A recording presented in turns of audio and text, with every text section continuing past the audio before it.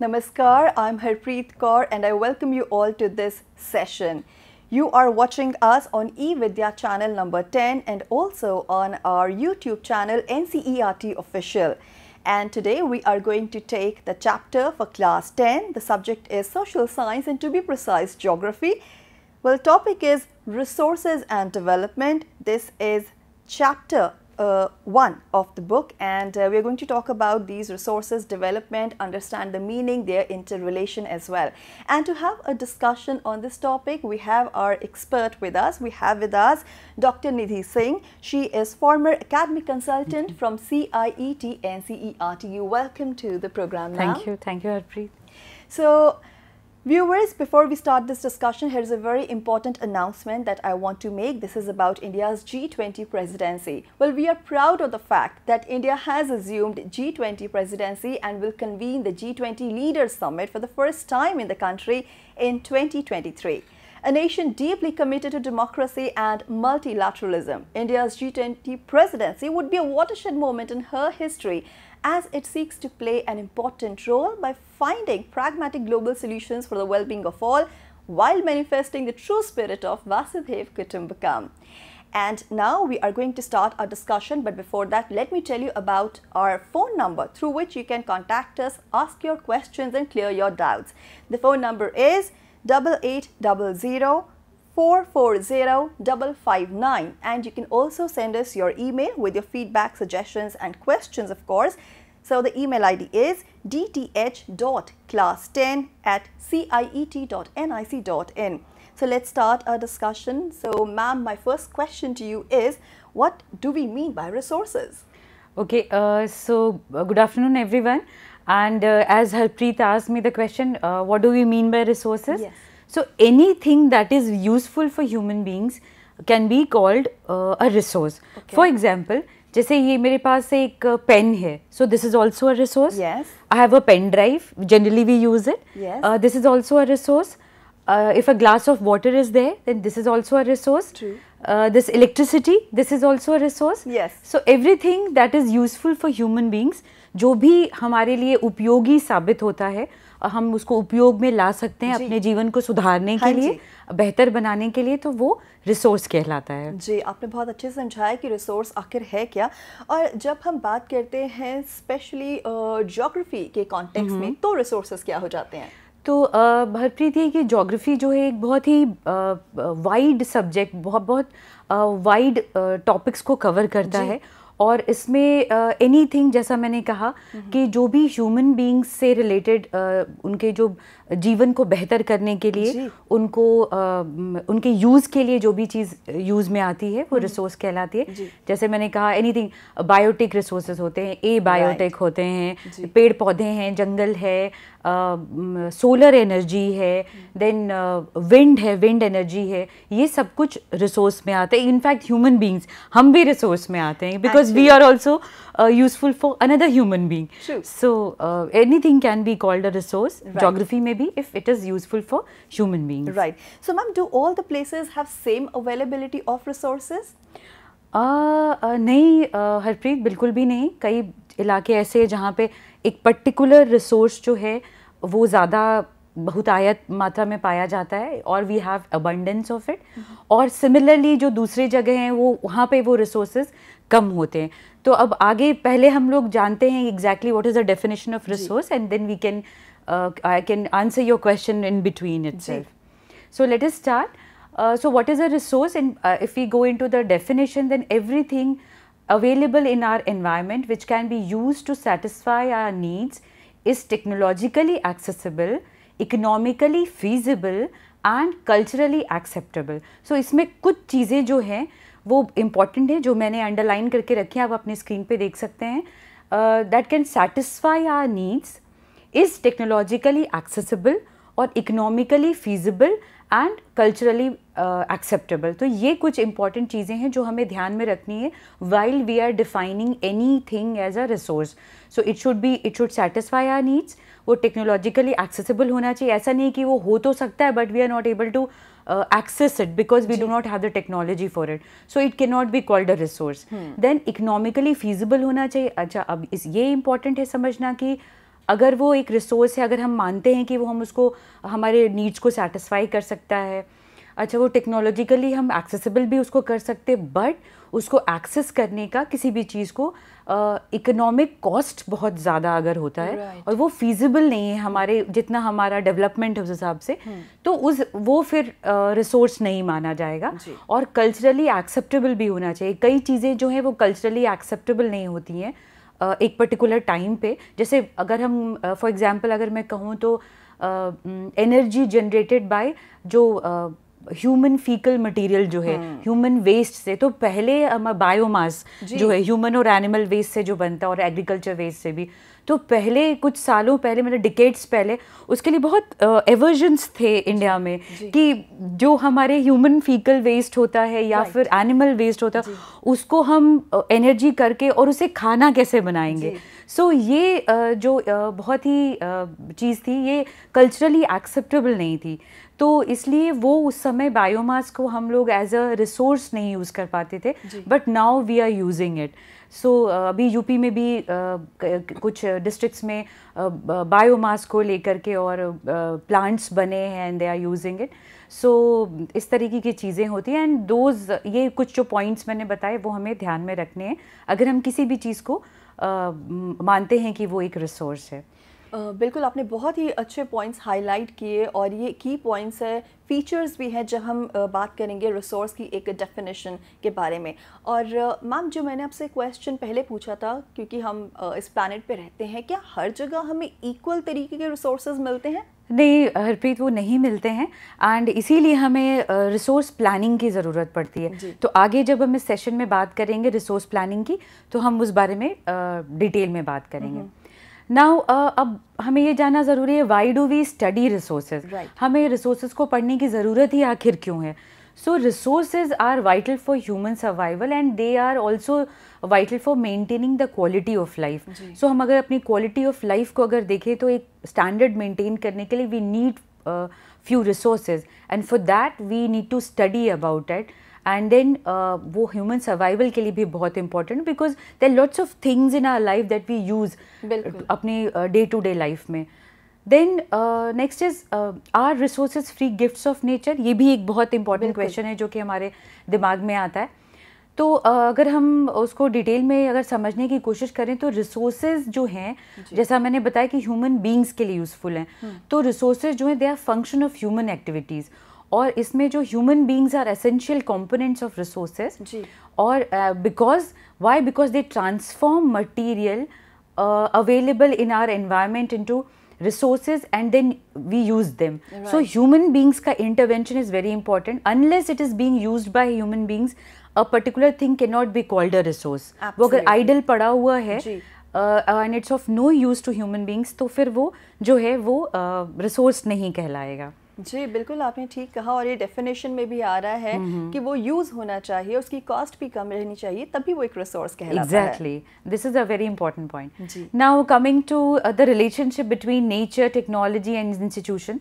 तो अगर हम आप अपनी स्क्रीन पे जो डायग्राम है वो अगर देखें तो human beings are at the centre of it और जो physical environment that is nature institution कि हम कैसे उसको एक्सेस करते हैं और पूरा जो मैकेनिज्म है हमारा इंस्टीट्यूशन का and then technology yes of course तो इन तीनों का इंटरेक्शन जब होता है एंड इन ह्यूमन बींग्स जब सेंटर uh, पे रहते हैं एंड दे फैसिलिटेट टेक्नोलॉजी को कैसे यूज़ करना Right. है इंस्टीट्यूशन कैसे वर्क करता है एंड देन फ़िज़िकल इन्वायरमेंट को कैसे हार्नेस करना है हमें कैसे यूज़ करना है। तो इन तीनों का जब ह्यूमन uh, बींग्स के साथ uh, वो एक इंटरेक्शन होता है then what is what comes out to be कोई भी एक सब्सटेंस जो है वो रिसोर्स बन के uh, निकल के आता है। जी एब्सोल्युटली आपने बिल्कुल सही कहा बिकॉज़ ह्यूमन जो ह्यूमन रिसोर्स है बेसिकली ह्यूमन बींग्स हैं वो इन सभी रिसोर्सेज को यूज़ करने के लिए इन तीनों यू नो इन तीनों फैक्टर्स को एक्चुअली एक पॉइंट पे लेकर आते हैं एक प्लेटफॉर्म प्रोवाइड करते हैं उसको कन्वर्ट करते हैं तभी वो रिसोर्सेज बन पाते हैं। So I think human beings act as a catalyst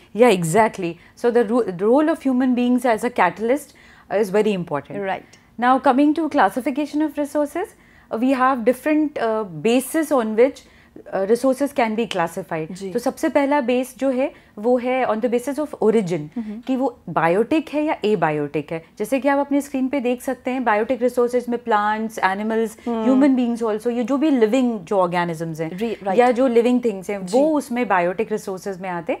And solar energy for example is an abiotic जो कि it's not a living thing so वो जो है वो ए बायोटिक रिसोर्स होता है। सो ये classification is on the basis of origin So, ma'am, you said solar energy. Similarly, we can say uh, hydro energy. yeah exactly any wind energy anything anything, anything can be Okay. then uh, the second is on the basis of exhaustibility कि exhaust कितनी जल्दी होता है so renewable resources होते हैं उसके accordingly and non renewable अब आप अपनी स्क्रीन पे देख सकते हैं कि सोलर uh, पैनल्स हैं तो solar energy is renewable energy and coal जो कि अंदर पिक्चर में शो हो रहा है वो नॉन रिन्यूएबल बिकॉज़ वो एग्जॉस्ट हो जाता है एक Right. टाइम के बाद next is on the basis of ownership ownership के हिसाब से इंडिविजुअल रिसोर्स होते हैं कम्युनिटी रिसोर्सेज होते हैं नेशनल रिसोर्सेज होते हैं और इंटरनेशनल रिसोर्सेज होते हैं.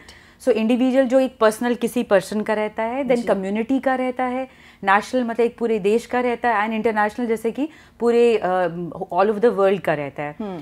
Then next is on the basis of status of development की डेवलपमेंट के स्टेज कौन से स्टेज पे है वो? Right. वो डेवलप हो चुका है एज अ रिसोर्स और नॉट तो उसमें क्या है? Potential then developed develop stock and reserves तो ये जो कैटेगरीज हैं ये उस पर डिपेंड करती हैं कि वो पोटेंशियल एक रिसोर्स है या ऑलरेडी डेवलप हो चुका या स्टॉक है या रिज़र्व में पड़ा हुआ जी। है तो ये चीज़ें जो हैं ये क्लासिफिकेशंस जो हैं कुछ इंपॉर्टेंट रिसोर्सेज को वो अ, हमने देखे। Right Right. अब next is development of resources so resources का डेवलपमेंट हुआ कैसे।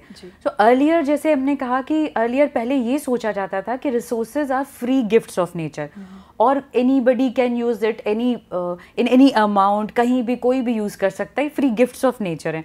बट इसके चलते क्या हुआ हरप्रीत कि people started using it rather exploiting and एकदम बहुत ही ज़्यादा स्केल पे और जिसको जितनी अ, उन्होंने जो जो कर सका, उन्होंने उस हिसाब से अपनी नीड्स के हिसाब से और रादर हम कह सकते हैं ग्रीड के हिसाब से उसको एक्सप्लॉयड किया। और नतीजा क्या हुआ उसका? Depletion of resources to for satisfying greed then accumulation of resources in few hands जो कि रिच एंड पुअर उस हिसाब से हुए फिर and then global ecological crisis जिसकी वजह से global warming ozone layer depletion environmental pollution and land degradation ये सारी चीज़ें जो हैं वो this resulted in this and then उसके बाद क्या हुआ कि इसी वजह से efforts were made to conserve the resources truly ma'am you made a very valid point even Mahatma Gandhi once said that there is enough for everybody's need but not enough for everybody's greed very true very right true so, so जो efforts जो हुए conserve करने के लिए resources में उसमें सबसे पहले क्या हुआ? कि रिसोर्स प्लानिंग ये रियलाइज़ किया गया कि resource planning is very essential for sustainable existence of life sustainable मतलब सस्टेन्ड एक क्वालिटी ऑफ़ लाइफ हम एक लंबे समय तक और आने वाले जनरेशन के लिए भी हम मेंटेन कर सकते हैं। तो ये रियलाइज़ हुआ। और सबसे पहला जो इस बारे में जो चर्चा हुई all over the world level पे वो Rio de Rio de Janeiro में हुई जो कि ब्राज़ील में है। Right. एंड उसमें जो अर्थ समिट हुआ, वो 1992 में, उसमें इस बात पे सबसे पहले चर्चा हुई। और उस समय जो क्या हुआ कि adoption of agenda 21 one was done so agenda 21 जो था, उसका एडॉप्शन हुआ for achieving sustainable development in twenty first century और ये जो एक मेजर लैंडमार्क था और इसी के बाद बहुत सारे ऐसे डिस्कशंस और बहुत सारे ऐसे प्लानिंग uh, स्ट्रैटेजीज बनी all over the world and सारी कंट्रीज़ ने मिलके उसको they accepted all the countries accepted such rules and regulations for use utilising Various resources Exactly, and that's why we are seeing today कि sustainable environment की बात हो रही है, Exactly. sustainable development की बात हो रही है. In fact, I guess uh, human beings are learning their lessons probably. right right exactly uh, so uh, after that and then uh, therefore the idea of resource planning came into existence And uh, जैसा कि आपने हरप्रीत शुरू में uh, सवाल पूछा था कि हर जगह एक समान रिसोर्सेज होते हैं या क्या? तो अब उसी से रिलेटेड ये है कि रिसोर्स प्लानिंग जो होती है वो तभी यूज़ होती है बिकॉज़ और ये टर्मिनोलॉजी इसलिए इंपॉर्टेंट है और ये एग्जिस्टेंस में इसलिए आती है because few areas are there regions are there दो that are rich in particular Yes. and other another area is there or regions are there that are rich in another resources और वो uh, they lack few uh, such resources yes. तो उसमें क्या है कि जब uh, ऐसे situation में this suppose a particular region needs another resource and this uh, the uh, region B needs another resource yes. which is abundant in region A. So therefore resource planning is important and therefore this um, idea comes into or this concept comes to existence. और ये जो है India में वो five year plans के through आज़ादी के बाद से इंडिपेंडेंस के बाद से फाइव ईयर प्लान्स के थ्रू ये जो है रिसोर्स प्लानिंग की स्ट्रैटेजी वो लागू हुई और हमारी गवर्नमेंट ने भी उसको अलग अलग तरीके से हर फाइव ईयर प्लान में इनकलकेट करने की कोशिश की इंक्लूड करने की कोशिश की और अब जो है अभी जो रिसेंटली मिशन लाइफ एक जो ऑनरेबल प्राइम मिनिस्टर ने शुरू किया है तो उसमें ये है कि कैसे हम रिसोर्सेज को यूटिलाइज कर सकते हैं जुडिशियसली और नेचर को हम सस्टेनेबल डेवलपमेंट के थ्रू लेके जाएँ और नेचर को भी बहुत तरीके से हम यूज़ करें कैसे कंजर्व करके प्रिजर्व प्रिजर्व भी करें और कंजर्व भी करें डिफरेंट रिसोर्सेज को। बिल्कुल हम ये देख ही रहे हैं मैम कि uh, कैसे Gulf countries they are rich in oil resources और yes. बाकी जहाँ पर वो लैक करती हैं तो वो इंटरनेशनली और इंटरनली आई गेस दोनों तरीके से रिसोर्स प्लानिंग हो रही है। Right right right. और जैसा अभी आपने कहा था कि महात्मा गांधी ने कहा था कि there is everybody there is lots for everybody's need but not everybody's greed तो uh, ये uh, एक बहुत ही फ़ेमस है सेइंग उनकी गांधी जी की। और in fact all over the world लोगों ने इसको रिकग्नाइज किया। And Gandhi ji propounded this long back when he was alive when उसके बाद आज भी उनकी जो ये कहा कही हुई बात बहुत है relevant है। बहुत रेलिवेंट है आज के भी समय में। एंड इंटरनेशनली भी इसको रिकग्नाइज किया गया। है so still we are working taking into consideration what Gandhi ji said right so now coming to a particular resource जो कि uh, इस चैप्टर में जिसकी चर्चा की गई है that is land resource so we live on land we perform are economic activities on land and we use it in different ways so India has a variety of relief mountains हैं plains हैं plateaus हैं mm-hmm. Coastal areas हैं. So uh, इस तरह के बहुत सारी तरीके और रिसोर्सेज भी वहाँ बहुत मिलते हैं अलग अलग तरीके के. So land resource is very important और डिपेंडिंग अपॉन द रिलीफ हम कैसे यूटिलाइज करते हैं सॉइल की थिकनेस कैसी है क्लाइमेट कैसा है वहाँ पे उस हिसाब से रिसोर्सेज जो हैं उसकी अवेलेबली सॉरी अवेलेबिलिटी होती है इंडिया में हम्म। और उस हिसाब से हम फिर वर्कआउट करते हैं अपने इकोनॉमिक एक्टिविटीज़ और बाकी सब चीज़ें। तो एक दूसरा एक कंसेप्ट है लैंड यूटिलाइजेशन का। So land utilisation means how the land is being utilised so so, हम उसको एग्रीकल्चर के पर्पज़ के लिए यूज़ कर रहे हैं कि इंडस्ट्री के पर्पज़ के लिए यूज़ कर रहे हैं कि हम उसमें सेटलमेंट हम उसमें घर बना रहे हैं या फैलो लैंड है या और कुछ कंस्ट्रक्शन कर रहे हैं हम उसमें। तो ये जो है how we are utilising the land that is known as land utilisation and ये जो है ये आपके सामने जो है लैंड यूज़ पैटर्न का थोड़ा कुछ डेटा दिया हुआ है and this is given in your textbook class ten की जोग्राफी की टेक्स्ट बुक में दिया हुआ है कि टोटल जोग्राफिकल एरिया जो इंडिया का है वो 3.28 मिलियन स्क्वायर किलोमीटर है। एंड इसमें अलग अलग तरीके से जैसे मैंने बोला कि फॉरेस्ट है कि बैरन लैंड है कि एग्रीकल्चरल पर्पज़ के लिए हम यूज़ करें या कंस्ट्रक्शन है तो उन सब चीज़ों के लिए कैसे कैसे लैंड का यूटिलाइजेशन होता है पैटर्न एक जो है वो इसमें दर्शाया गया है डिफरेंट परसेंटेज तो cultivable land fallow land current fallow then permanent pasture ये सब चीज़ें जो हैं इसमें दिखाई गई हैं। Then there is a concept call land degradation तो अब जैसे इट इज़ रिलेटेड टू वेद मतलब कि जो uh, बहुत फोर्सेस uh, जो हैं इरोजन के वाटर uh, है रनिंग वाटर है या विंड है या बायोटिक जो फैक्टर्स हैं तो उससे कैसे जो है लैंड का डिग्रेडेशन हो रहा है? जैसे बहुत तेज़ बारिश होती है और प्लांट्स नहीं है अगर लैंड के ऊपर या मिट्टी के ऊपर तो तो जो बारिश होती है वो वॉश आउट करती है सॉइल के जो टॉप लेयर को। तो उससे धीरे धीरे लैंड डिग्रेडेशन होता है। सो सॉइल इरोजन के बाद द लैंड गेट्स डिग्रेडेड और हम्म। उसमें उसकी जो न्यूट्रिएंट वैल्यू जो उसकी होती है न्यूट्रिशनल वो उसकी कम हो जाती है। तो वो लैंड डिग्रेडेशन जो है एक अनदर प्रॉब्लम है जो हम हम फेस करते हैं। Then we have after land within land also in itself एक और जो है कंसेप्ट uh, जो है वो सॉइल एज अ रिसोर्स का है। कि सॉइल को एज अ रिसोर्स हम कैसे यूटिलाइज कर सकते हैं या देख सकते हैं। सो so, सॉइल जो है it is an important resource because इसी पे हम अपने खाने पीने की सारी चीज़ें उगाते हैं। We grow crops we have trees on it we have forest on it and then uh, we live uh, on you know we can uh, use it for construction of uh, our houses also so uh, uh, on your screen you can see a soil profile उसमें है कि soil के different layers क्या होते हैं one is the topmost is the organic layer then we have top soil we have subsoil we have parent material and then bedrock so depth uh, के हिसाब से ये जो सॉइल प्रोफ़ाइल इसको हम कहते हैं और जो डिफरेंट लेयर्स ऑफ़ जो सॉइल हैं वो हैं और uh, इस तरीके के होते हैं। And soil is a very important resource for us ji. Then this is a classification of soil. We have different varieties of soil even in india. And uh, uh, बहुत कुछ डिपेंड करता है कि कैसा पेरेंट मटेरियल है या hmm. कैसे climatic conditions हैं वहाँ पे उस पर डिपेंड करता है कि किस तरीके का सॉइल है एक पर्टिकुलर जगह पे। So depending upon all the chemical components that we have in soil we have different types of almost uh, seven types of soil that important so, uh, types of soil that we are, that are found in india one is alluvial soil black soil then red soil we have uh, red and yellow soil laterite soil arid soil forest soil and all these types of soils are there and uh, आप अपनी screen पे देख सकते हैं जो diagram है और जो मैप है उसमें different types of varieties of soil जो है वो दर्शाया गया है छः से सात टाइप्स ऑफ़ सॉइल्स हैं इसमें दिए हुए। और फॉरेस्ट सॉइल माउंटेनियस एरियाज़ में है जहाँ पे कि ज़्यादा फॉरेस्ट हैं। Then we have forest and mountainous soil then we have alluvial soil mainly जो है वो सारा इंडो गैंजेटिक प्लेन में है मिलता।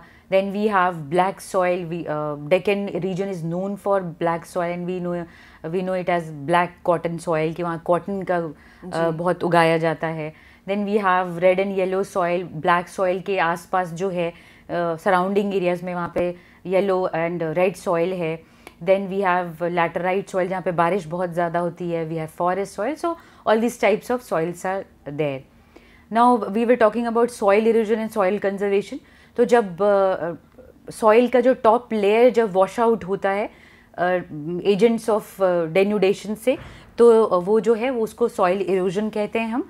This is called denudation of soil cover and subsequent washing down is known as soil erosion और ये बहुत फ्रीक्वेंट होता है जहाँ पे फॉरेस्ट कवर नहीं होता है यहाँ पे जा या जहाँ पे बहुत स्लोप जो रहता है वो बहुत ज़्यादा होता है ग्राउंड का। So because of these reasons and soil uh, because soil is a very important resource for human beings so therefore we need soil conservation और बहुत सारी टेक्निक्स है सॉइल कंजर्वेशन के जो कि आपके बुक्स में दी हूँ जैसे बंडिंग है रीफॉरेस्टेशन है फॉरेस्टेशन है ये सब चीज़ें जो हैं ये सब सॉइल कंजर्वेशन को फैसिलिटेट uh, करने में हेल्प करती हैं। राइट right, मैम आपने बहुत अच्छे से एक्सप्लेन किया and we all know what is the importance of soil तभी वर्ल्ड ओवर कैंपेन्स भी रन किए जाते हैं to save soil actually So, viewers, that was our discussion today. The topic that we took was resources and development, and I would like to thank my expert for her valuable contribution to this session. Thank you so much, ma'am. Thank you. So viewers it's now time for me to wrap up this session लेकिन मैं आपको बता दूँ कि इस session के ठीक बाद आप सुनेंगे हमारा नेक्स्ट सेशन जिसका टॉपिक रहेगा टाइप्स ऑफ़ मिक्सचर्स और uh, एक और information about N C E R T books well N C E R T books are available throughout the country आप उन्हें कभी भी परचेज कर सकते हैं वीकेंड्स पे वीक ऑफ़ में.